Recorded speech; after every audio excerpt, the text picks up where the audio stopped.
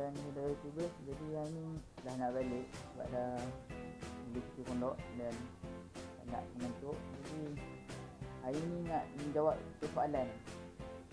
Duduk pondok tu duduk macam mana? Duduk pondok pondok. Ha ni. Pondok ni. Jadi ni pondok saya jadi saya nak tunjuk cuba sedikit lah kat dalam pondok tu macam mana. Jadi supaya terbuka sikit minda tu. Duduk pondok tu macam mana? Ha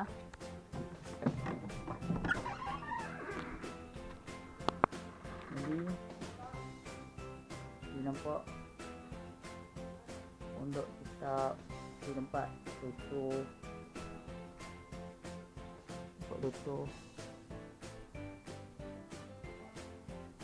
Tak lagi simpan baju dapur Okay, jadi kalau siapa tak tahu lagi. Ha, ni lah pondok. Macam mana keadaan duduk di pondok?